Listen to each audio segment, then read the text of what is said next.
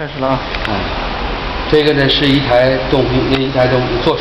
这现在我们做的是单面动平衡，这面是 A，这是 A，那么这是 A 的方位，这是 A 的偏量，这面是 B，B 的方位，B 的偏量，事先调整是这样调整的，啊这个啊，这是这样，这个呢是什么呢？对，轻重开关拨到轻的位置，我现在采用的是加重，黑白拨到黑的位置上，我做的标记是黑色标记，黑的位置。这个大小传感器，不论放在大上小上，只要转速稳定就可以了。那么这是个记忆，手动记忆，手动记忆，搬到上面，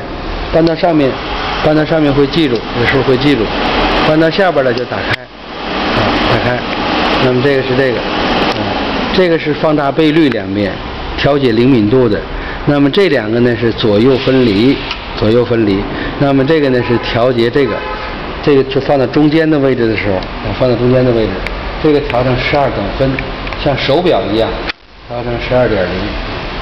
十二等分，啊，十二点零。这面是调这个的，这是调这个，调多少等分？我们这个呢也把它调成十二点零，像手表一样，像手表一样，对，十二点零。这调好，那么接下来之后，这传感器 A 传感器接到 A 上，A 传感器 A 传感器，那么接到 A 上，啊，左边的传感器接到左面，右边的传感器接到右面，这是个自动记忆线，接上它之后，那么机器就有自动记忆功能。这个呢是什么呢？这是个光电传感器，